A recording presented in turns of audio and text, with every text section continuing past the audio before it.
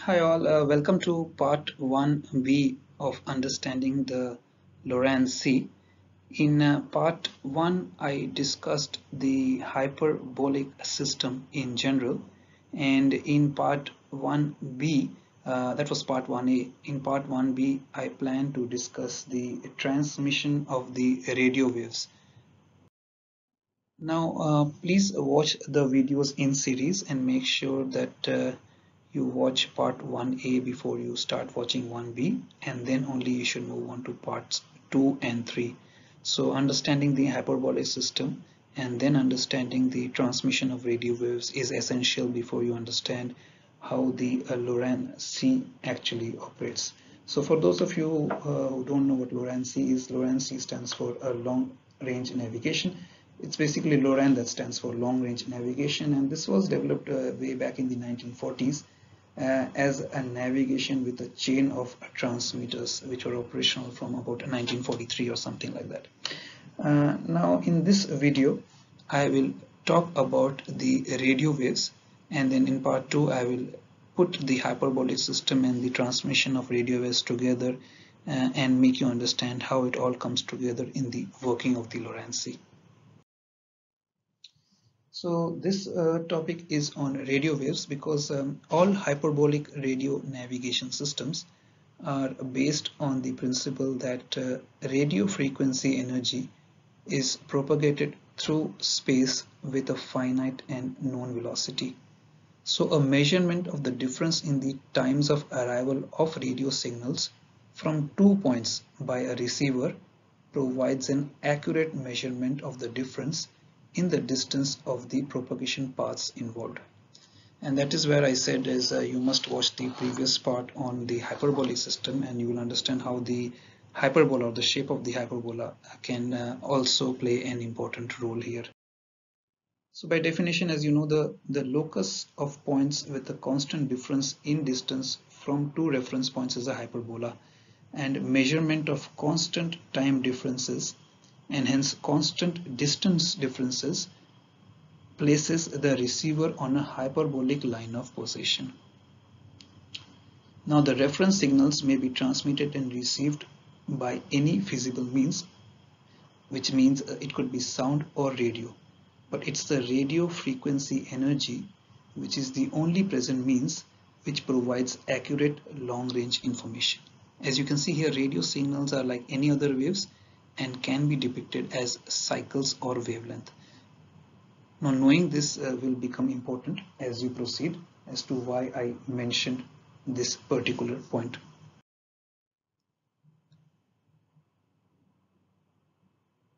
Now transmissions ranging from unmodulated continuous waves to short pulses may be used for LORAN C. The basic principle of position determination however remains the same. As you can see here the red wave imagine that originating from point A and it moves right and the blue wave originates from point B and moves right as well but note the opposite cycle. Now imagine these two points A and B to be the two points of the hyperbola and waves are generating from them as they would from the transmitters. Now if you superimpose the blue wave on the red wave, you can see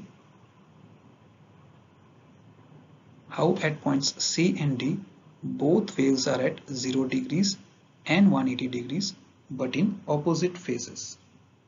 Now I'll tell you why this is important.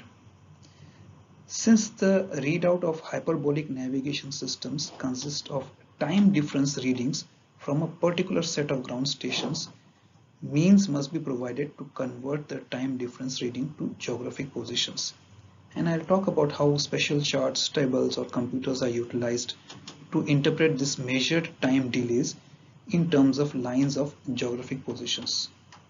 Charts for general navigation have representative hyperbolic lines corresponding to various time delays from these pair of stations in addition to the ordinary latitude and longitude lines and other navigational data. Now why I'm showing you all this is because the uh, LORAN C basically works on the uh, time difference in arrival of received signals from any pair of stations. and this is used uh, measured using various electronic techniques in the ship's receiver and this is converted to distance differences and hence a hyperbolic lattice of lines of constant time difference used to plot the line of positions obtained. Now LORAN C is not a continuous wave systems and it hence differs from uh, the old systems of Decca and Omega. Here the pulses are transmitted at a specified rate called the pulse repetition rate.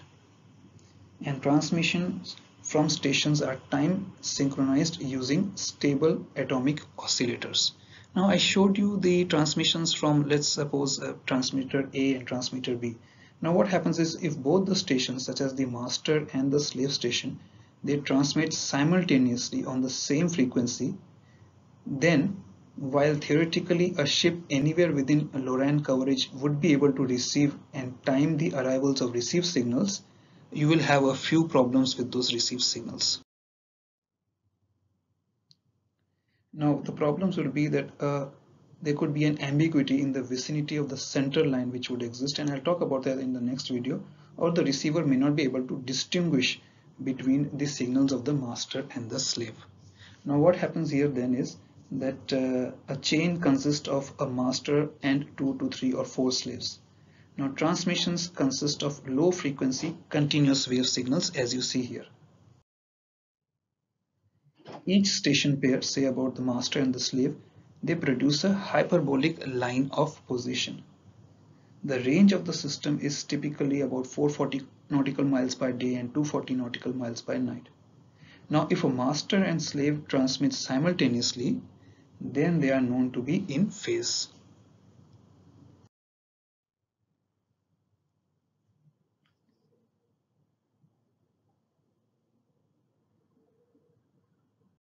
Now I'll show you here how simultaneous transmission which is in phase transmission differs from when uh, a wave slightly moves forward and how the phase difference or phase discrimination is created. Now if you don't know what phase difference is, phase difference between uh, two waves tells us how much a wave is in front or behind another wave. If I show you through animations, you will see how a simultaneous transmission by both the master and slave can create confusion However, if there is a difference, a time difference between uh, the master and the slave transmission, so that if the master and the slave do not transmit on the same frequency, the receiver would not be able to discern between the incoming signal. So take this, uh, this is what I wanted to show you here. So the frequencies used here are different, but they have a fixed relationship for that particular chain. So these are all part of the same chain that provides the position of the ship. So there's a master and then there could be two, three or four slaves. And you can see here, uh, let me show you and then I'll talk about it. So solid A moving from right and then the plate blue wave is moving from B and split second later both signals have moved out by at least 1 by 4 of the wavelength.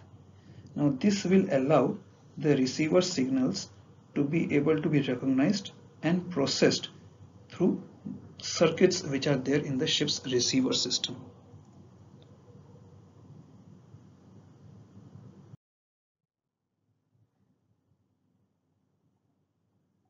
So you can see here the phase relationships at each of the three positions although remain the same and the phase difference is zero when they are transmitting simultaneously. So if the simultaneous transmission occurs, then the receiver will be confused. Therefore, there has to be a slight difference in the transmission sequence or the transmission pattern, which also I will show you in the next video on how a difference in the transmission pattern uh, is uh, received by the LORAN C receiver and how it translates into a position. But uh, the basic theory here I wanted to show you is about the radio waves and the nature of the radio waves and why the master and the slave uh, should not be transmitting together. So you can see here now both the signals have moved out by about half a wavelength. So therefore uh, you can distinguish between the master and the two slaves that are transmitting. So to maintain uh, phase synchronization for the transmitted signals of the master and slave and the master may trigger the slave to transmit or the atomic oscillators may be used to transmit at exactly the required instant. So then this is controlled by the master now. So all positions now although seem to indicate zero phase difference at point B the solid wave is measuring zero and the pegged wave is is measuring 180 so although they are in synchronization there is a slight difference in the transmission which is controlled by the master transmitter uh, so that the receiver on the ship can distinguish between the transmissions and then uh, use the difference in the transmissions uh, to detect the line of positions to make it into or convert it into a difference in the distance and then obtain a line of positions and multiple line of positions also provides the ships with its position. So we'll move on to uh, part 2 now uh, where we will show you how the hyperbolic systems and the radio waves or the transmission of the radio waves fall into place into the working of the LORAN C.